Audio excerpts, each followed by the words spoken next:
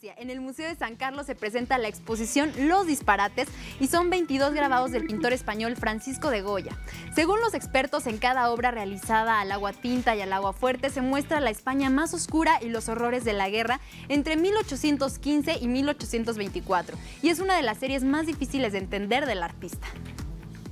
Estas piezas, cuya factura son aproximadamente de 1814, que ya es el último periodo de su vida,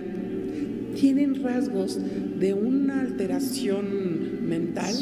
que yo diría que ni siquiera cuando entramos en el mundo oscuro de las pesadillas podríamos